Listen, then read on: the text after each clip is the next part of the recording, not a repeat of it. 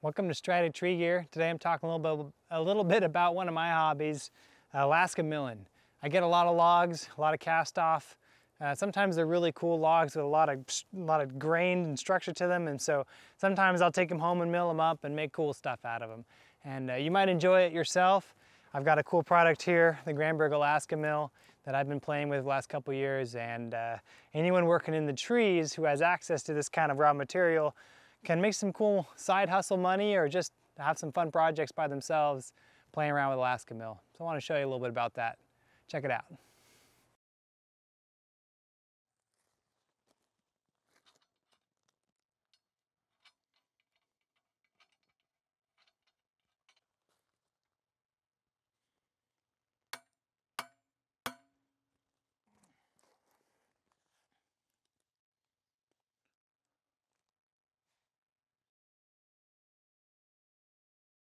So for the price of what is one nice slab, you can actually buy the tools to cut slabs out of your own trees. So us guys in the tree industry, this is, we should all have one of these in our back pocket. Uh, this one is made by Granberg. There's a few other companies that make them, but it's called an Alaska mill. And uh, they, I think they call it that because in Alaska, you gotta have a chainsaw. And anyone who has a chainsaw can use it to, to mill some fairly straight and true slabs. Um, it doesn't leave a really nice surface finish. It's a lot of touch up to make it something like furniture quality, but you can at least cut some big old slabs out of some big logs. And it functions fairly uh, simply. It's just like this. So what you get is this system that mounts to the bar of your chainsaw. This is a 32 inch bar I've got on my uh, 461. And I wouldn't recommend doing big milling with any saw much smaller. If you're gonna do a little log here or there, you can get away with a size or two smaller, but you want to be on a big saw with a lot of torque. 461, MS660, uh, or the Husky 572 or the 592 XP, you know, or bigger. Those are going to be good saws for milling. Even a uh, Stihl 880 would be a good saw. But the idea is simple. So I've got this aluminum support that is parallel the bar that maintains a constant gap between the aluminum and the bar itself. And so what I do is set up a rail on top of my log and I, the rail rides on these aluminum supports and it maintains a consistent level as I bring the cut across the log. And so that cuts a relatively flat slab. After that first cut is made, I pull off what's called the scab, and then I can just slide this right across the top of the last cut, and it does another nice parallel cut so long as the teeth are nice and sharp and you're not, you know, your technique is good. Uh, but you can go through and cut several slabs off.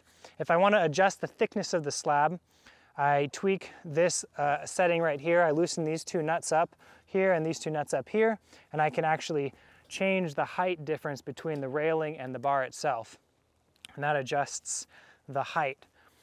One of the tricks and, and challenges I've had with this Alaska mill is the tendency for the bar to come un, uh, for the bolts to loosen up with the vibrations and for it to start wiggling it around. And so one of the tricks I found, and you can just barely see it in here, but I clamped a small screw, just the top of a screw, uh, right down the middle of the bar. So it's concentrating the clamping force of this attachment point on the tip of the bar right down the middle rather than spreading it out over this area of this full rectangle. And that makes a huge difference because this, the chain needs to spin freely, but this clamping force can actually pinch the tip so much so that it impedes the movement of the chain and really wears out your saw fast. And so by clamping that one little piece in there, it concentrates the force in that one central spot away from all the rivets, and it keeps me from pinching the tip of the bar and lets this thing spin nice and smooth uh, while still not vibrating free. So that's a little, little trick for you guys there. I'll show you how this thing kind of works over here on the rail.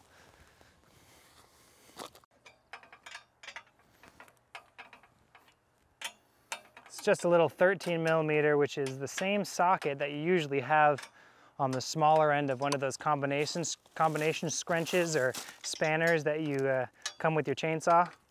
Usually one of those two sizes of 13 mil, which is what this is. All right, so once those are loosened up a little bit, I can adjust the height of the saw parallel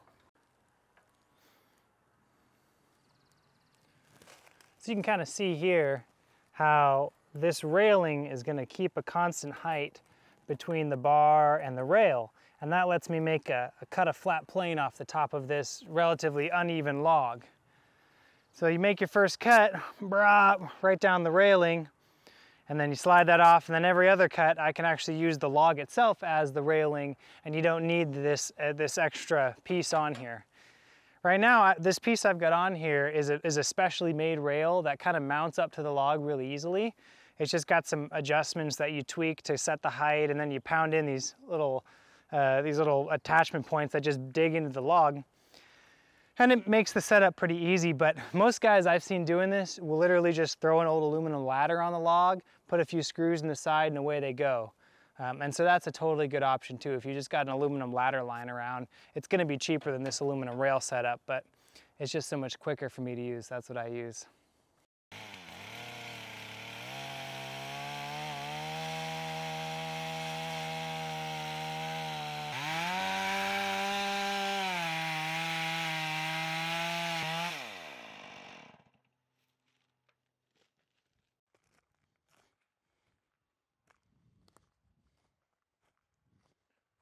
So that's Alaska milling. It's a great way to use up some of the materials that come off the job. It's a good little side hustle if you want to be creative and do something fun and feel like you're recycling and reusing what would otherwise go to waste. Um, if you're a part-time tree service or you're looking to try and start a little part-time tree service or maybe contract climbing business for yourself, uh, I've got a class, it's a live webinar class that's gonna be going on next month. It's a three-day thing. Uh, it's called the Part-Time Arborist Academy. I'm gonna go through all the basics of what it takes to start a little part-time tree service, and that's coming up in April. Uh, and then stridertrees.com, we've got lots of other resources for you guys out there working in the trees, so check that out as well. Hope you found this valuable, and I'll see you next time.